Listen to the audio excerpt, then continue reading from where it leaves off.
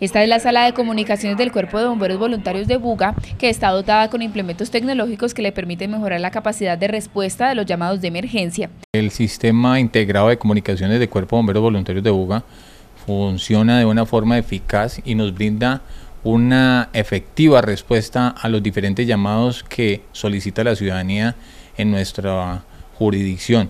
Eh, de igual manera, con este nuevo sistema le estamos brindando también el apoyo a los diferentes municipios que lo requieran. El conmutador de la línea de información y de emergencias de bomberos Buga están conectadas al computador que a través de un software especial registra el lugar exacto desde donde se realiza la llamada de emergencia, graba la comunicación y a la vez permite conocer en cuánto tiempo llegan los voluntarios al sitio.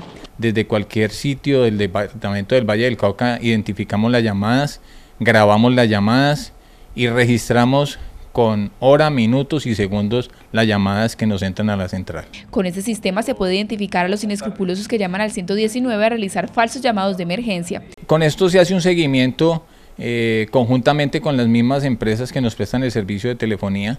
Eh, cada vez que entra una llamada tomándonos, como se dice, del pelo, nosotros le hacemos un seguimiento a esa llamada, lo llamamos pues eh, de nuevo y logramos eh, hacer un arreglo de, formalmente para que la gente coja conciencia de que estas líneas de emergencia no se bloquean ni son para saboteo.